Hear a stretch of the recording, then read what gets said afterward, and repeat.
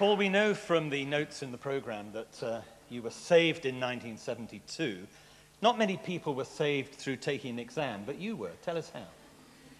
Well, I, uh, I was in the middle of the exam at the Bucharest University for clinical psychology. And in Romania at that time, entry examination was the most challenging and difficult exam in life. To qualify for clinical psychology at that time, one had to prove that one was not a Christian. And I was not. So I started the exam proving that I was not a Christian. Halfway through, God arrested me, and I became a Christian. And I was accepted.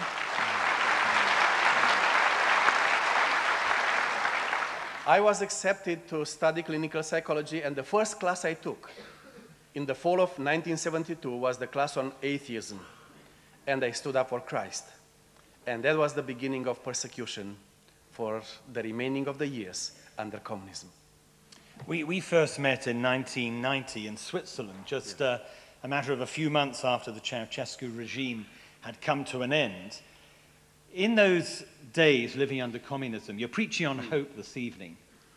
Were there ever times when you thought life will be different? Yes, we had our mountains top experience and we had our valleys. I do remember of a time when being out for preaching evangelistic meetings, I came home just to find that my family has been attacked by the communist police. And our children were under attack. At that time, I felt that God was not caring for my children as I cared for his children. I felt that God let me down. And the thought came to my mind that I should take my family and escape from Romania.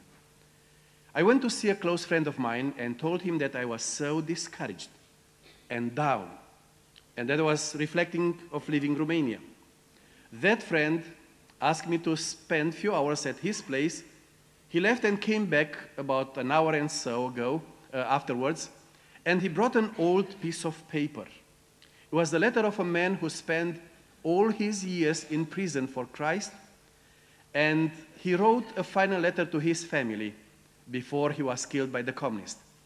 And the letter, the, the letter ended with this picture Lord, I know that I come home. And I look forward to seeing you, to see the glory of heaven, to see all the great men of God and all the great women of God, to see the great evangelists and the great singers and the great missionaries. But Lord, on that day, when the parade in heaven will take place, allow me to come in the uniform of a Romanian prisoner, because I want to praise you all eternity for Christ that letter healed my heart. Mm. And we prayed with my wife, and we decided that we will stay and be God's children for His glory in Romania. Now, there are folk here who um, do. No.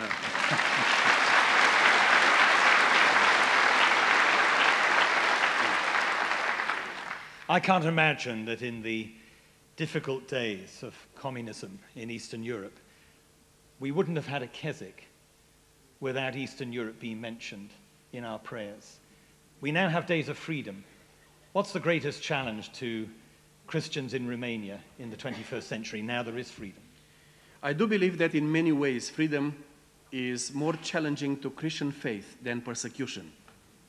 In times of persecution, the world is not friendly. Things are so clear, black and white. You are either with Christ or against him. And there's just one major decision to make to be ready to give your life for Christ. But in times of freedom, there are no such dramatic decisions. There are small decisions, however, and we compromise in what we call small decisions. So the greatest challenge is that we will be as faithful in time of freedom as we were in time of persecution. And please do pray for us that we will not compromise in times of freedom. And Paul's our preacher this evening. We're going to pray for him now.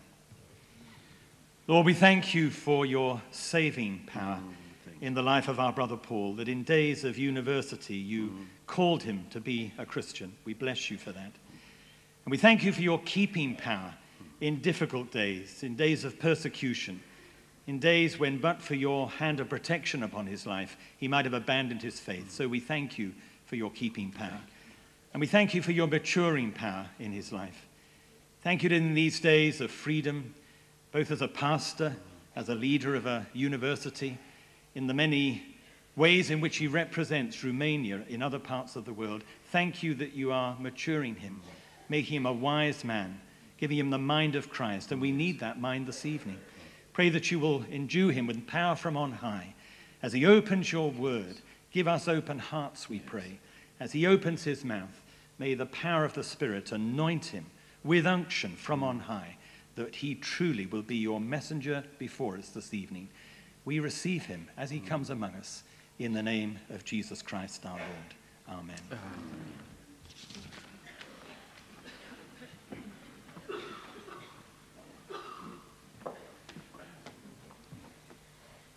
Now, tonight, Paul is going to be uh, speaking on John chapter 3, but we're going to read Ezekiel 37 because he's also going to refer to that passage. So, if you would like to turn to Ezekiel 37.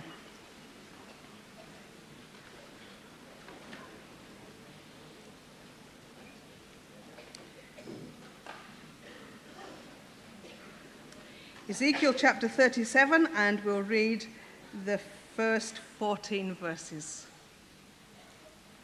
The valley of dry bones.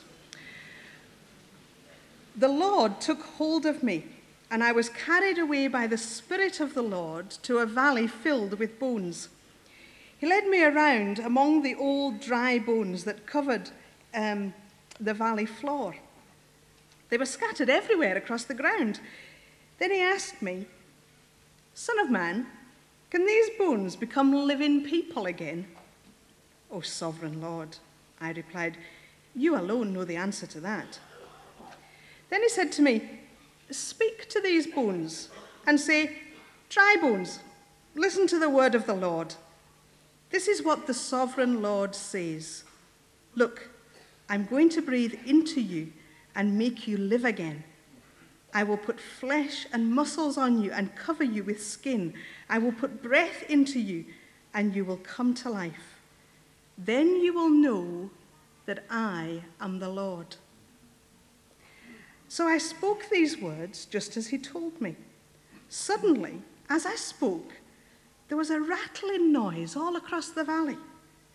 The bones of each body came together and attached themselves as they had been before. Then, as I watched, muscle and flesh formed over the bones. Then skin formed to cover their bodies. But they still had no breath in them. Then he said to me, Speak to the winds and say, This is what the sovereign Lord says. Come, O breath, from the four winds, breathe into these dead bodies so that they may live again. So I spoke as he commanded me, and the wind entered the bodies and they began to breathe. They all came to life and stood up on their feet, a great army of them. Then he said to me, Son of man, these bones represent the people of Israel. They are saying, We have become old, dry bones. All hope is gone. Now give them this message from the sovereign Lord, O my people. I will open your graves of exile and cause you to rise again. Then I will bring you back to the land of Israel. When this happens, O my people, you will know that I am the Lord. I will put my spirit in you, and you will live and return home to your own land. Then you will know that I am the Lord. You will see that I have done everything just as I promised. I, the Lord, have spoken. Amen. And may God speak to us through his word this evening. As we've said, Paul's going to be speaking on the theme of hope. And this passage in Ezekiel is acknowledging that hope has been lost, as represented by the dry bones, because people have stopped listening to and trusting God. And so they have ended up in a hopeless situation. And I want us to take just a few minutes, short minutes this evening, before Paul comes to speak to us, to, in the quietness, think of the situations that we face or that we know of that leave us tempted to hopelessness. It may be a personal situation. It may be a situation in your church or in your community, at work, in our nation or in another nation in the world. But just take a few moments to think and ponder what tempts you to hopelessness. What tempts you to despair? We'll have just a minute or two of silence, and then John will come and lead us in a song.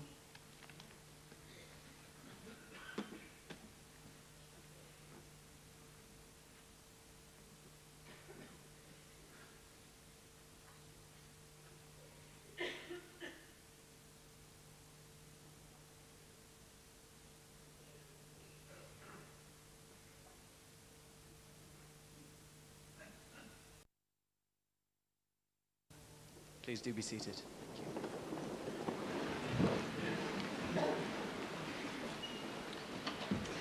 A pastor wanted to buy a pet for his family, and after some reflection, he decided to buy a speaking parrot.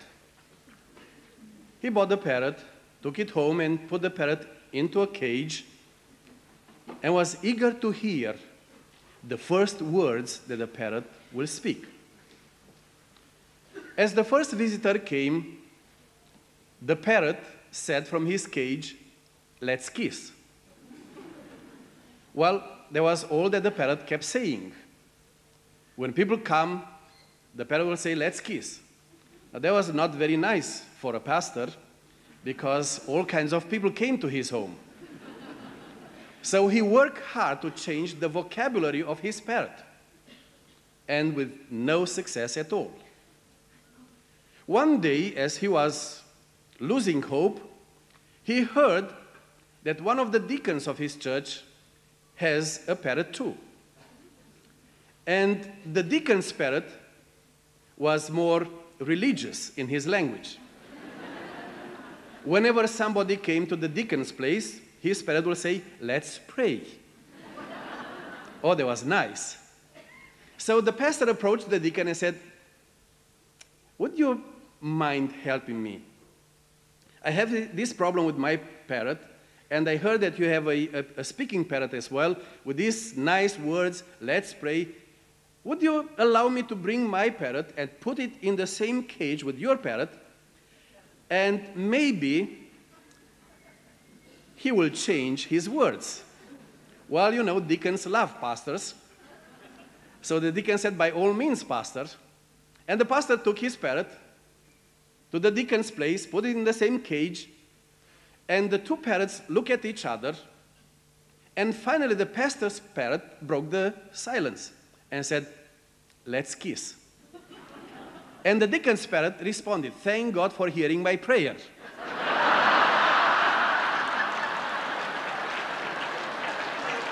well, there is a lesson to this story changing the place will not change your life. Changing the place will not change my life. There is something more about changing lives. And tonight I will invite you to open the Bibles at the book of John, the Gospel of John, chapter 3. John chapter 3 this is a great passage when two rabbis speak together one late evening. There was a man of the Pharisee named Nicodemus, a ruler of, a ruler of the Jew. This man came to Jesus by night and said to him, Rabbi, we know that you are a teacher come from God, for no one can do these signs that you do unless God is with him. Jesus answered and said to him, Truly, truly, I say to you, unless one is born again, he cannot see the kingdom of God. Nicodemus said to him, How can a man be born when he is old? Can he enter a second time into his mother's womb and be born? Jesus said, Truly, truly, I say to you, unless one is born of water and the Spirit, he cannot enter the kingdom of God. That which is born of the flesh is flesh, and that which is born of the Spirit is spirit. Do not marvel that I said to you, You must be born again. The wind blows where it wishes, and you hear the sound of it, but cannot tell where it comes from and where it goes. So is everyone who is born of the Spirit. Nicodemus answered and said to him, How can these things be? Jesus answered and said to him, Are you the teacher of Israel and do not know these things? Most assuredly, I say to you, we speak of what we know and testify what we have seen, and you do not receive our witness. If I have told you earthly things and you do not believe, how will you believe if I tell you heavenly things? No one has ascended into heaven but he who come down from heaven, that is the Son of Man, who is in heaven. And as Moses lifted up the serpent in the wilderness, even so must the Son of Man be lifted up, that whosoever believe in him should not perish, but have eternal life. Two rabbis talking one late evening. One was an older, well known rabbi, Nicodemus. The other was a younger rabbi and not as well known by the educated people of the day. However, wherever the younger rabbi went, the crowds kept growing. Great multitudes came to listen to him. He taught as no one else was teaching at the time. Things were happening there where this young rabbi was working. The old rabbi just kept his traditional rabbinical teaching and not much was happening around. So one night he came to this young rabbi and asked him something about techniques. Why is that the crowd is growing. How come that you perform so many miracles? Surely you must come from God. Tell me about these techniques. So the young rabbi answered him that all that I am doing is not about techniques, but about truth. There was the debate techniques or truth. And I can identify the same problems in our own generation. So many people are interested about techniques. How can we do this? How can we grow churches? How can we disciple people? How can we do this or do that? And all is about techniques. Missionary work is about techniques. So the old rabbi come and he wanted to get some of the more updated techniques. And Jesus said to him, Nicodemus, my ministry, the essence of what I am doing is not about techniques. It is about truth. You can learn all the techniques of the day and miss the kingdom of heaven. You can master the art of communication. You can master mass communication. Large crowds but miss the kingdom of heaven. So Jesus said, Truly, truly, I say to you, unless one is born again, he cannot see and enter the kingdom of God, the kingdom of heaven. The essence of the matter is be born from above. Not techniques, but truth. Well, Nicodemus heard this message about new birth, and in a very rabbinical way, he answered, Well, let me, let me tell you what the question might be here.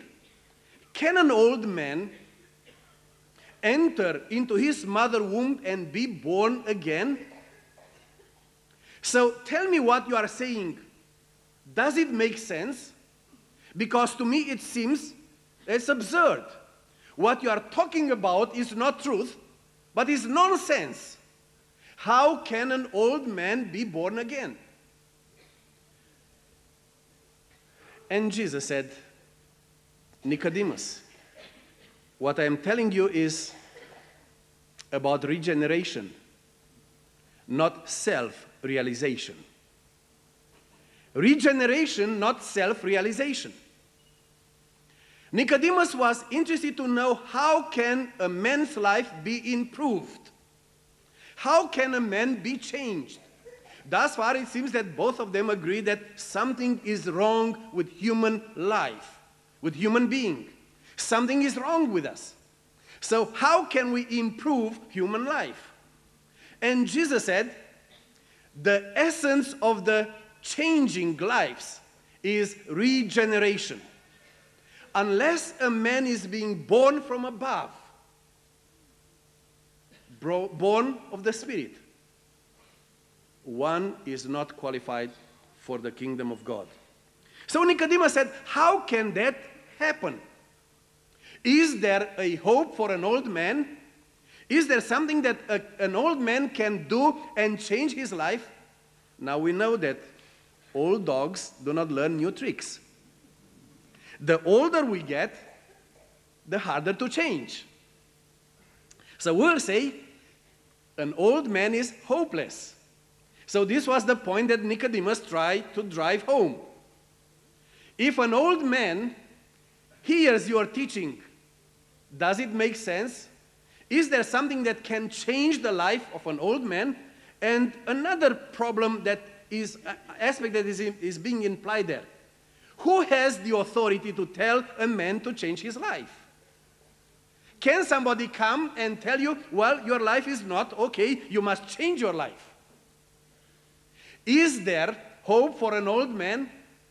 Now, Jesus gave Nicodemus an astonishing answer. He didn't directly answer the question that there is hope for an old man, but gave an answer. He said, Well, the transformation, the regeneration of a life is something that you understand if you look back into the Old Testament of a great story that the Spirit has been at work. And that sent Nicodemus to the text that we had from Ezekiel chapter 37. Ezekiel chapter 37. Here is a great story in the Old Testament captivity, hopeless situation, a whole generation being taken out from their land. And God wanted to teach Ezekiel a great lesson. One day, God took Ezekiel for a very unusual trip. Not to Cumbria, not to the Lake District, but to a valley packed with dry bones. And God said, Ezekiel, just walk around this valley and look at these bones. And Ezekiel looked at the bones, and there were many, and they were dry. So God asked, asked him a question. He said, Ezekiel, tell me, can these dry bones come alive? I work with students day after day. And when I ask students a question, I want them to give me an answer. And this is the kind of question that re, uh, requires an answer yes or no. So God asked Ezekiel, Can these bones come alive? And he should have answered, Yes, Lord, or No, Lord. Well, Ezekiel was a, a very unusual student. He said, Okay, Lord, this is a great question, but I think you have the answer. and God said, Okay, Ezekiel, if I have the answer, you have the assignment. I will ask you to preach a sermon here.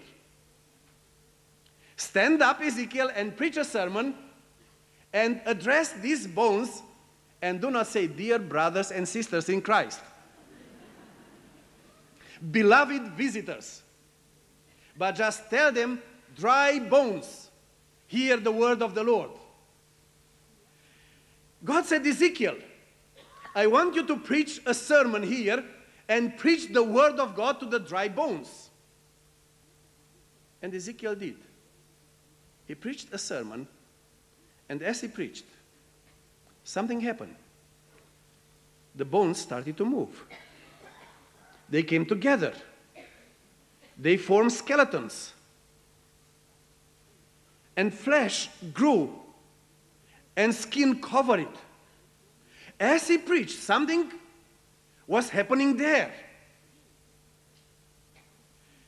And after he preached the first sermon, the Lord said, Now, Ezekiel, I want you to preach the second sermon. Speak to the wind and say, O wind, come and breathe over these bones. Speak and invite the Ruach to come. That breath of God that gave life at the very beginning. Call upon the Spirit and ask Him to come. And the Spirit came. And there was life. So Jesus said, Nicodemus, do you know the story from the book of Ezekiel? You ask, is there hope for an old man? And my answer is, there is hope for a dead man. You see the difference? The answer from God is there is hope for a dead man because we are not aging in our sins and trespasses. We are dead in sins and trespasses. We are dead, separated from the source of life. Is there hope for an old man? And God said, There is hope for a dead man. In many respects, Europe looks like the valley of dry bones. In many respects, the situation is similar. And we ask ourselves, is there hope? And Jesus said, Yes, there is hope. There is hope when the Word of God is being preached and the Spirit of God is at work. Nicodemus said, Can an old man do something for himself? Is there room for self realization? And Jesus said, No, there is room for regeneration. Now we live in a time when people want to do something for themselves. There are so many experts around the world who are telling us what we must do to improve our lives. Among other things, I do teach psychology at a state university in Romania in addition to teaching doctrines at the Emmanuel University, I teach psychology, and the class I teach is Theories of Personality. For a whole year, I have the psychology students, and I have to teach them all the major theories of personality. So I organize my class, my course, like this. The first day when I meet the students, I tell them what we'll cover in that class. So we will cover all the major psychologies that belong to the psychodynamic theory, and we'll look at all the major psychologies that belong to the behavioral and cognitive theories, and all the major psychologies that belong to the traits theories, and all the major psychologies that belong to the humanistic theory. So I start with Freud and his disciples, and we move to B.F. Skinner and Bandura and their disciples, and we move to Gordon Allport and Cattell and their disciples, and we move to Abraham Maslow, and we move to Carl Rogers and their disciples. And then I tell my students the last class, the last course, we look at Jesus and his views on human personality. This is a state university. So after I teach all these classes, all these courses, all these great famous psychologists and their theories, I tell my students this. Now, I want you to pause for a moment and ask you to bow your heads. I said, just imagine that now you have a personal problem. And you're about to go to a psychologist. Well, let me help you, and I will take you to all of them one by one. Let's imagine that we knock at the door of Sigmund Freud. Well, this is what we, he will tell you. Just lie there on the couch and tell me whatever comes to your mind. Don't try to sort it out. Don't try to, to uh, clarify this or to, uh, to somehow uh, get rid of some thoughts. Just tell me as it comes into your mind, just freely. Make those free association. And you come today, and you come next week, and you come five years from now, and you come 20 years from now, and you keep telling him there on the couch. Or if you go to B.F. Skinner and his disciples, he will teach you some techniques. And he will keep teaching you, and as you learn one technique, you have hope that this will change. You go home and you discover that doesn't change. So he will teach you a new technique. Or you go to Gordon Allport and say, well, every human being has certain cardinal traits. You are like this, and some, uh, some people are like that, and each human being is different in his, her own way. So you have to live with, with yourself. This is how you are. Or you go to Abraham Maslow or Carl Rogers and say, well, all that you need is to be left alone and affirmed by everybody. So all you need is unconditional affirmation. You must be self assertive. You must take the courage and just do as you feel things ought to be done. And everybody else must affirm you. That means if your child comes home and burn your house down to the ashes, you look at your child and unconditionally affirm him, said, I am so proud of you.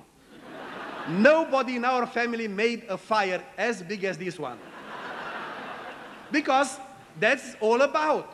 Let him be as he is, do not interfere. And then I said, Now, after you've been to all of this, we knock at the door of Jesus Christ. Is that right? No. He is knocking at our door. Jesus is not waiting upon us to go to his office and pay the ticket to get in. He comes to our office and Jesus tells us that sin had separated us from life, the source of life. Sin has distorted our lives. Sin is causing all the problems in the relationship that we have and is bringing all this misery in our life because we've not been created to live like that. We've been, we've been created to live in perfect relationship with God. He comes to tell us what is wrong with us.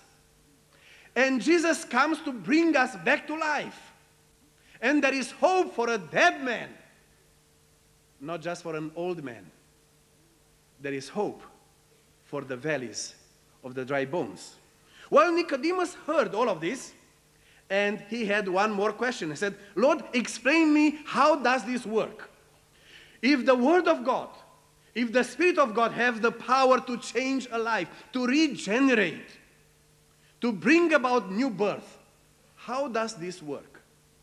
Oh, Jesus said, I'm glad you ask. Let's go back into the Old Testament. Let's go back to the book of Numbers, chapter 21. And you know the story from the book of, books of Num, book of Numbers. The children of Israel were on their journey in the wilderness to the Red Sea. And one point in that journey, they were so upset with God. They spoke against God. They began to criticize God. They said, well, the way God organized our life is so absurd. Why are we here in the wilderness and eat this food, manna? We don't like it. we don't like the way God is organizing the universe, how He leads history, how He leads everything. We probably do a better job like God than God. Well, God said, okay, if you can do a better job, I will let you for a few days just cope with some serpents. So God said, I will not keep my hands upon serpents and let them come into the camp. And the serpents came, all the, the vipers came there, and they started to bite people, and they were dying poisoned. So the people complained and they, they went to Moses and said, Moses, do something, pray for us. And Moses went to God and said, God, what is the answer? Because people are dying. And God said, Moses, I want you to lift up a bronze serpent on a pole. And whosoever is being bitten by a serpent, just look at that pole, and they will be saved. So Moses did like this, and he lifted up the serpent on the pole, And those who were dying had to do something. Now, let me tell you something that works perfectly in Romania. If Moses were a Romanian, and all the people there were Romanians, I tell you how would they approach the whole issue.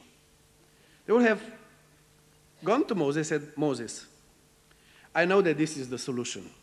I know that this is the answer, but let's, let's work things a little around here. You see, Moses, I sin against God, but my home is right at the fringe of the camp, at the edge. Now I cannot see the pole from there.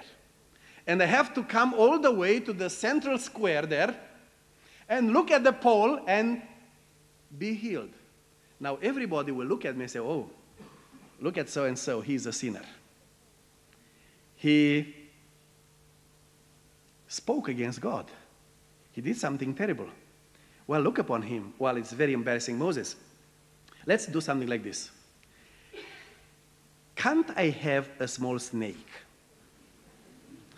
Just a tiny one here. I will have it here in my pocket or at home. Because, you know, Moses, nobody is perfect. I do something wrong once in a while, but why should I come all the way up front and everybody see me? Moses, let me have that small snake. And when things are getting bad, I just look at it and nobody knows. That would the Romanian do. And Jesus was speaking to a rabbi and said, Nicodemus, do you remember the whole story? When people were dying, they had to come out and look at that serpent and be healed, be saved. Now, Nicodemus, as Moses lifted up the sermon, so shall be the Son of God lifted up upon a cross.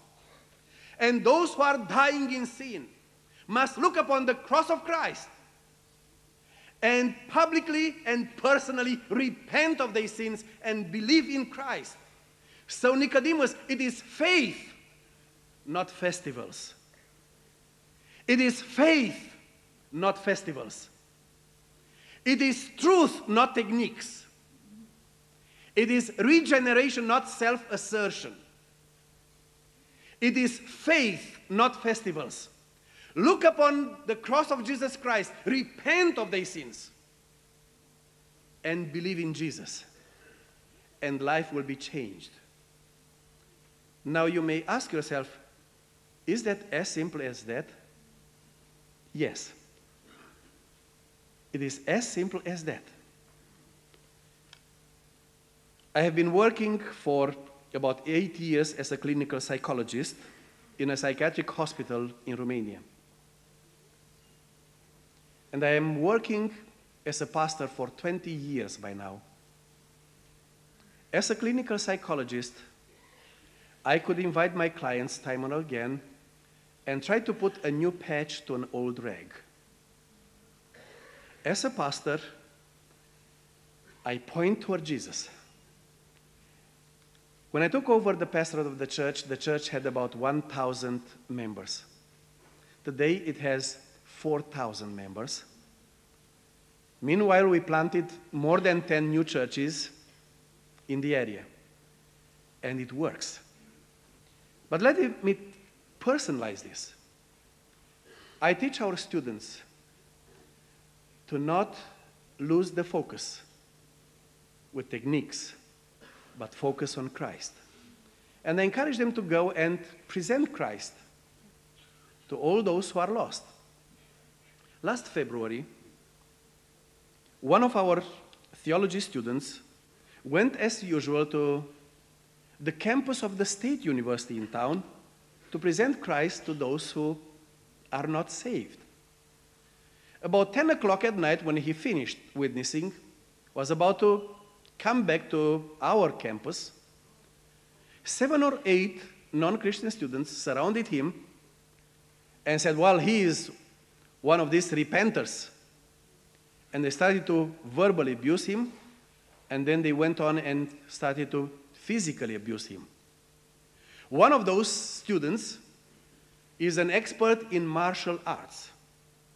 And that expert in martial arts hit our students on the forehead, broke his face, and damaged his brain. The students collapsed, and he was bleeding, and all the others started kicking and jumping with their feet on him. Later, minutes later, the students regained his conscience and he tried to escape, to run. And the aggressors ran after him and beat him to the point of death. Then they said, okay, let's take him now to the river and just throw him in the water in February, minus 20, freezing water. Say, let's throw him in the river and drown him. They drag him to the river bank and they grab him by hands and feet and they were about to throw him in the river. That point, the students regain again his conscience. He realized what is happening and he prayed out loud. He said, Lord, I know that I'm coming home. And I'm so glad that I'm saved. I'm your children. I'm your child. But I'm so ashamed because I've done so little for you. When he said those words, the aggressors just lost their power. They dropped him there on the bank and ran away. The students crawled into the street and tried to stop a car, and no car will stop. Then he had to crawl half a mile to an, a nearby taxi cab station. A taxi cab driver took him to hospital, and that was midnight when he was taken to hospital, put immediately on the life support machine. And the doctor discovered that the, the damage he had at his brain may cause him epilepsy for the rest of his life. Then the hospital authorities sent for his wife. His wife came, spent the rest of the night on her husband's bedside, prayed for him. He regained his conscience again by 5 o'clock and he prayed with his wife until 7 o'clock. At 7 o'clock in the morning, his wife said, You know what? I go and speak to those who beat you up. She went to the campus, identified all seven of them, called them downstairs in the meeting place. They all came. She looked at them and said, I'm not here to call upon police. I'm not here to take revenge. I'm here with a different message. But before I tell you what I have, I want to know who is the one who hit my husband and damaged his brain. And this martial arts expert stepped forward, very proud, very aggressive, said, I did. And the wife of our student looked at him and said, I want you to know that my husband and myself, we love you and we forgive you. And I'm here to tell you that we, we love and forgive you because Jesus loves us and he forgave us. And he, we are here to tell you about the love of Jesus. That student accepted Christ right there on the spot. Then he walked with this lady to the hospital, asked forgiveness to our student, spent hours with him in hospital, and as a new convert, he prayed for his victim. Weeks later, as Lilian, that's the name of the student, came out of hospital, he and his wife, Rima, and we, uh, with the aggressor, John, came all to our chapel. Every Wednesday lunchtime, we have a chapel with the whole school. And they came and they gave their testimony. And John, the aggressor, stepped forward and said, That moment, when this lady told me that she loves me because Jesus loves her, for the first time in my life, I saw Jesus as the Son of God, and that's my Savior. And I was saved there. Now, Lilian and Rima, his wife, are discipling John.